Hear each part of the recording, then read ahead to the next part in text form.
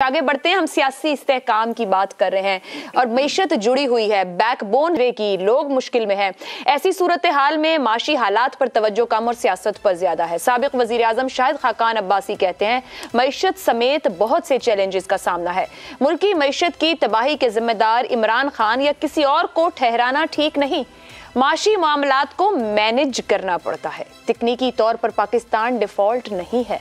उन्होंने मीशत की तबाही का जिम्मेदार सबको ठहराया। लेकिन वो कहते हैं ना कि वक्त करता है परवरिश बरसों। हादसा एक दम नहीं होता। फिर कोई तो जिम्मेदार होगा। गलती किसी से कहीं तो हुई होगी। फैसला किसी से कोई तो गलत हुआ होगा।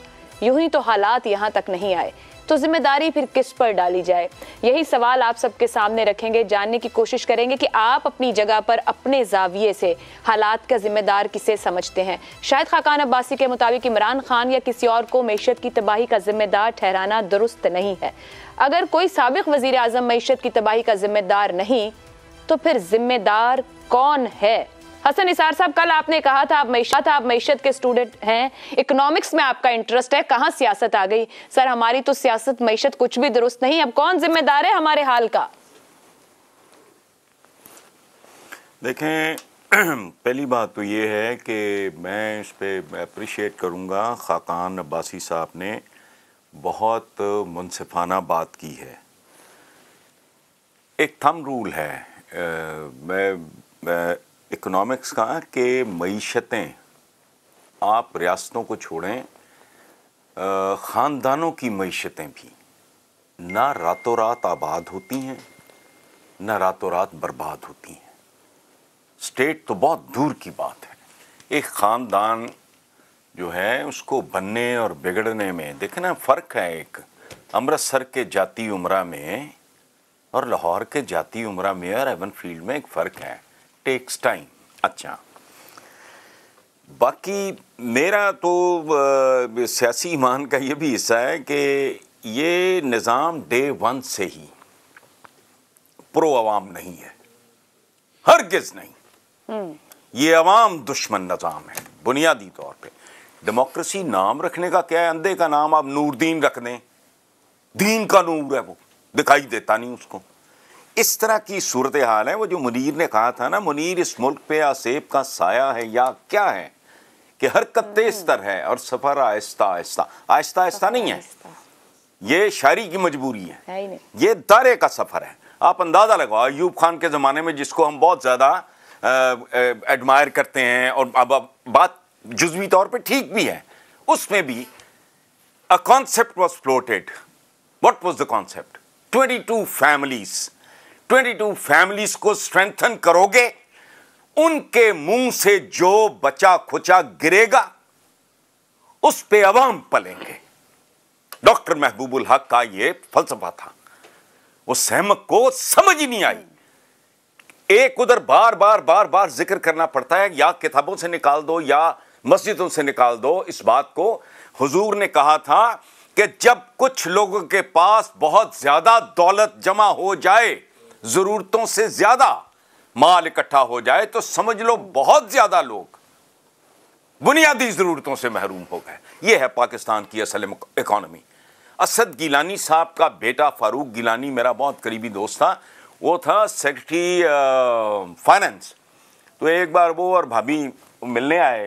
अल्लाह उसे गरी के रहमत करे, बहुत ही प्यारा दोस्त। तो मैंने कहा, यार, अपना फारूक पाकिस्तान की तो इकोनॉमी का सुना उसने कहा इस मुल्क की कौन सी इकोनॉमी? ये additional secretary federal additional secretary finance कह रहा है। वो कहता छोड़ यार तेरी माँ तुम्हारी तू तो इकोनॉमिक्स पढ़ता रहा तूने ऑनर्स मास्टर करके झाक मारी। वो इस मुल्क की क्या इकोनॉमी है? हर आदमी का हाथ दूसरे की जेब में है हर इदारे का हाथ दूसरे की जेब में है। And that was the time when he told me कि प्रेसिडेंट हाउस ने वेपडा का कितना देना एक काफ़ी पुरानी बात है। और पीएमओ उसने कितना देना जगह बैठे। बिल ही नहीं दे रहा है बिजली के आम आदमी का। कनेक्शन कट जाता है। देखो अशराफ का अपना बहरान। आपने एक बात की है इस मुल्क में 22 खानदानों ये माफियाज और मोनोपलीज का इस मुल्क में कारोबार नाम की कोई चीज़ है ही नहीं। मैंने इकोनॉमी इस मुल्क की इकोनॉमी है करप्शन देखो बात सुनो आखिरी बात सुन लें। ये मैंने जब ये जहांगीर तरीन और अलीम खान और ये ओ मैंने कहा होश करो इस मुल्क में बद्यांती और हराम के बगैर रेडी नहीं चलती। कॉरपोरेशन से लेके पुलिस वाले को जो रेडी वाला बता देगा वो जेब काटेगा इस साराना की वजाहत मसूद की शहजाद चौधरी की और हसन अंसार की। मजबूरी है उसकी। इस मुल्क की इकोनॉमी डे वन से फ्रॉड है फेक है इसका पाँच हज़ार का नोट मुझे बताओ। मुझे फांसी दे देना। सबका हाथ सबकी जेब में तो तीन महीने के अंदर अंदर नताज ना आए पाँच हज़ार का नोट उड़ा के देखो। कौन करेगा ये?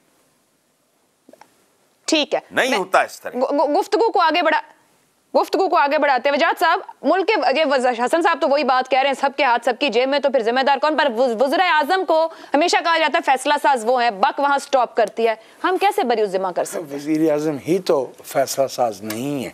नहीं आइए ये बहुत अच्छी असूली बातें हसन साहब ने की हैं।